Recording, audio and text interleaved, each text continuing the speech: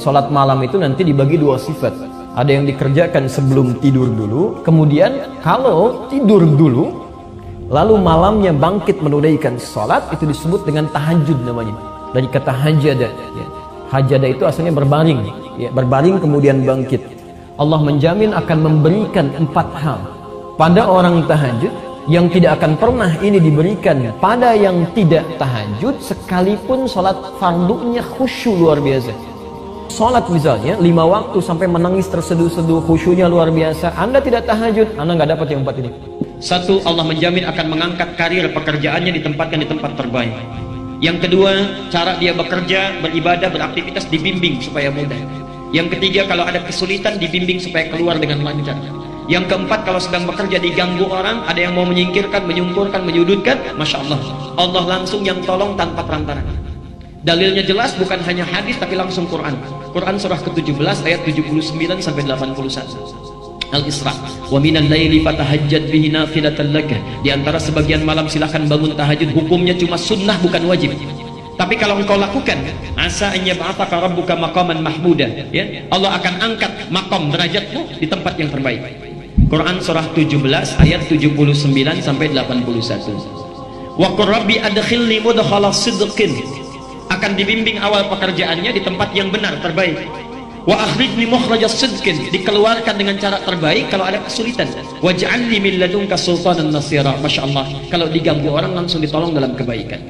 Kaidah umumnya tahajud itu tidak memiliki batas rakaat. Nabi pernah menyampaikan dalam hadis riwayat Ibnu Umar, ini saya sampaikan dalilnya, ada di Al-Bukhari nomor hadis 460, Muslim 1782 dan At-Tirmidzi nomor hadis 437 dari Ibnu Umar Salatul laili Salat malam itu Cara menunaikannya Masna masna Silakan lakukan dengan dua-dua Jadi dua rakaat salam Dua rakaat salam okay.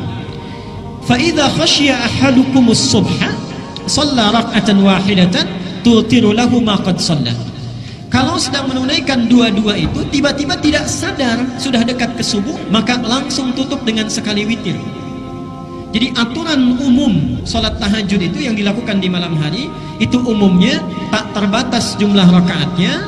Kalau itu ingin dilakukan maka mulai lakukan dengan dua rakaat dua rakaat. Nabi kadang sholat dengan 13 rakaat. Ini kalau tinggal beliau di rumahnya Maimunah.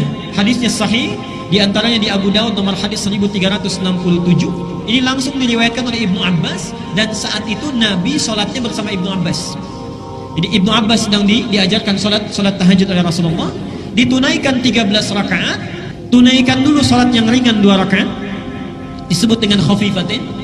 Dia tidak perlu pakai sunnah. Kita salat misalnya takbir saja, Allahu Akbar. Kemudian langsung kita baca Al-Fatihah, iftitahnya sedikit saja, langsung Al-Fatihah gitu ya, sampai dengan waladhdallin amin kemudian rukuk. Jadi tidak membaca, tidak membaca surah. Itu dua rakaat pembuka. Disebut khafifatin, dua rakaat yang ringan. Selanjutnya tunaikan dua, dua, dua. Yang terakhir ditutup witirnya satu. Kalau beliau menginap di rumah Aisyah, itu yang sering dilakukan adalah 11 rakaat. Hadisnya sahih. Al-Bukhari nomor hadis 3569, Muslim nomor hadis 738. Dilakukan dengan 11 rakaat bisa dengan dua cara. Satu, yang dilihat oleh Aisyah langsung, Nabi melakukan empat, empat, kemudian witirnya tiga. Jelas ya? empat empat witirnya tiga jadi empat rakaat pertama empat rakaat kedua kemudian witirnya tiga tapi ketika Nabi menyampaikan kepada sahabat yang lain subhanallah sebelas ini diberi pilihan bahkan bahasa nabinya masna masna dua-dua ya. Jadi kalau antum ingin menunaikan sebelas rakaat boleh empat empat tiga boleh dua dua dua dua witirnya terakhir ditutup dengan ah bisa tiga bisa satu bisa tiga bisa bisa satu.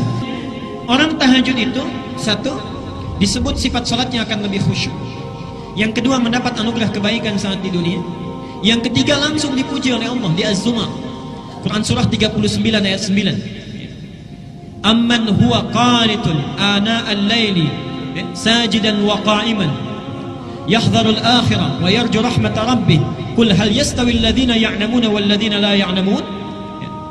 Adakah sama di antara orang-orang yang suka bangun malam dengan khusyuk kemudian sujud berdiri lama karena Allah dengan orang-orang yang tidak beriman Sedangkan orang-orang yang bangun di malam hari ini, satu, dia takut kalau di akhirat dia tidak akan selamat. Yang kedua, dia mengharap rahmatnya Allah. Jadi diberi kesempatan oleh Allah, setiap bangun kamu mau minta apa? Mau minta apa? Hadisnya kunci bahkan. Ya ibadi wahai hambaku, siapa yang kemudian meminta kepada Allah aku akan berikan. Siapa yang memohon akan dikabulkan. Siapa yang beristighfar mohon ampunan akan diampuni pada saat ini. Subhanallah. Dan yang terakhir, Allah sediakan surga khusus bagi orang-orang yang selalu mendawamkan tahajud. Surga di taman surga, perhatikan. Kalau antum butuh apa-apa, itu Allah langsung yang kasih. Kun fayakun ada.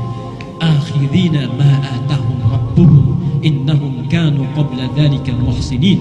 Mereka langsung dibalas oleh Allah, ingin apa pun subhanallah langsung ada Allah yang berikan. Sungguh mereka itu adalah orang-orang yang ihsan saat di dunia. Apa cirinya? Ternyata ciri pertamanya itu orang yang konsisten tahajud. Lihat, kanu qalila minal laili ma yahja'un. Ciri pertamanya orang-orang ini saat di dunianya sedikit tidurnya. Sedikit tidurnya. Dia hidupkan malamnya.